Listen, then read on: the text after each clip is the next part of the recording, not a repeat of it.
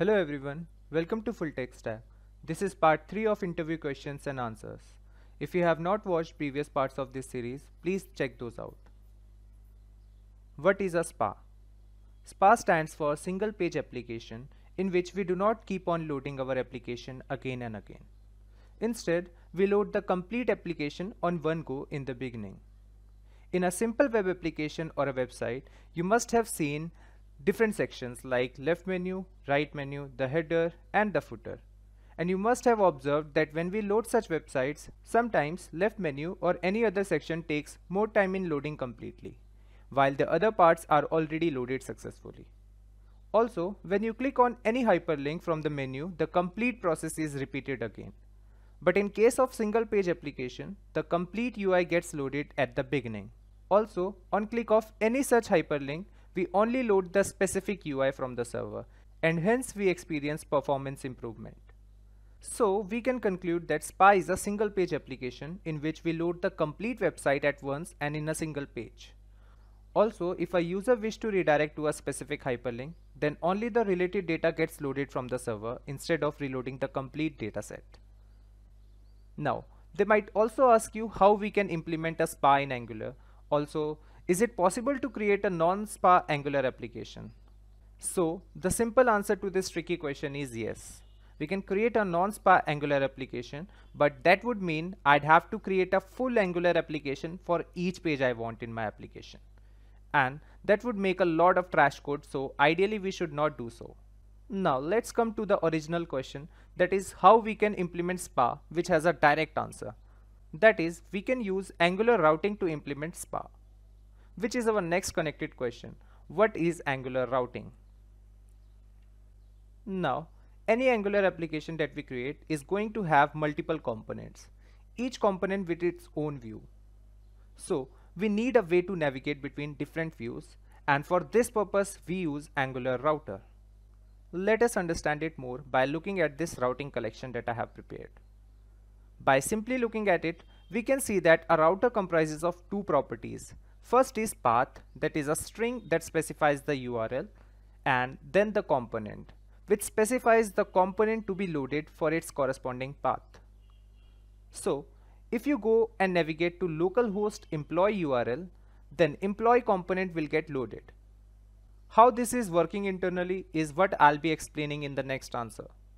So let's move to our next question in line how to implement routing in Angular.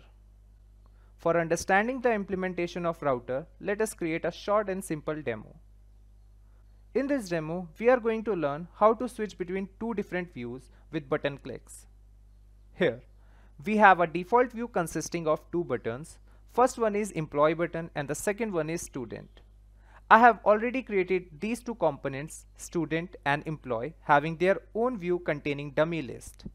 You can get this source code from my GitHub, link is provided in the description. Now, the first thing we need to include is the base tag in our index.html file. We can add it as a child to the head tag and set the value of href attribute as a forward slash. This is required so that our Angular application knows how to construct the URLs while navigating. Now, in the src app folder, we must have a file app-routing module which will contain our routing configuration but before configuring the routes let us import app routing module in app module in the imports array just like this. Now let's backtrack a little to our routes module file and configure our routes. Here we have a const routes where we will be defining all the possible routes of our application as object with two properties path and component. Now if we navigate to path employee then we will be redirected to the employee component. And if we will navigate to path student, then we will be redirected to the student component. But wait a minute, how will the routing engine know where we should display these components? And the answer is by adding router outlet directive. We can add the router outlet directive in our app component HTML file, which is also the last step. Now, let us see it in action you see that on click of the student button, we are presented with the student list. And if I click on employee button or if we change the route to localhost slash employee, then we can see the employee list. Also, this loading is not impacting the rest of the sections. So this is Angular routing in action.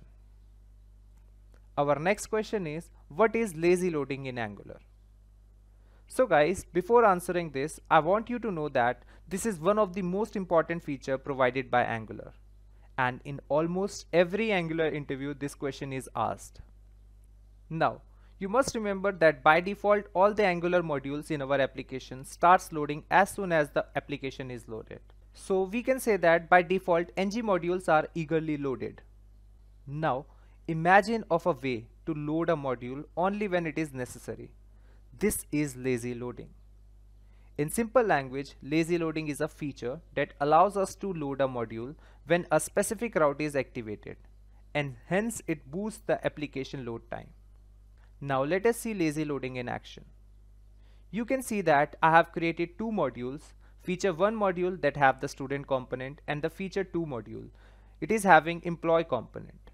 I am opening developer console to show you that if I search for student component, that is inside the feature 1 module, I can see that it is loaded in our application and can be found.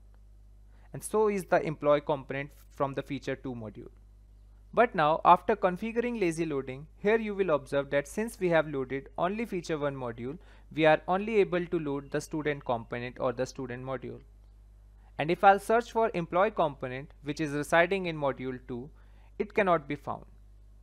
But once I'll load feature 2 by clicking here on the employee button or directly loading it via the URL, then our application will load the employee module as well.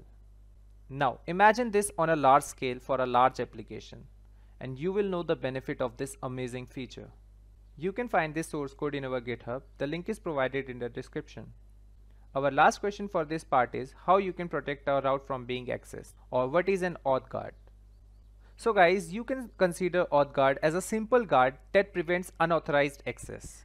Or in more simple words, auth guard decides whether a specific route can be navigated or not, based on the condition or logic that we write inside canActivate method. If canActivate returns true, then only the routes get accessed, otherwise not. Let us see it in action. You can see that whenever we hit localhost slash employee in the URL, we are getting redirected to employee component as we have configured. Now for this demo I have implemented canActivate method for our employee list component and inside can activate method I have written this condition to only return true when we have isAdmin as true in our local storage. So I'm going to open my developer console again to show you that we have isAdmin key in our local storage that is containing value as true. So we are able to access the URL. But in any case, if our condition in can activate method falls, we won't be able to access the employee route. Let us now deliberately delete this isAdmin key from our local storage and check if we still can access the employee route. Nope, we cannot since the canActivate method is now returning false and our route is hence protected from any kind of unauthorized access.